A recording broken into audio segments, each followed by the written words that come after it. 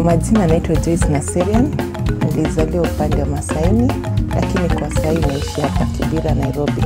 Kupitia kwa hiyo kazi ambayo wamekuwa wakinipatia imeweza kunisaidia kwa kulipia watoto school fees kidogo, kununua chakula iweze kuendelea na kazi iwe mingi na wengi pia waweze kusaidika kama wamama.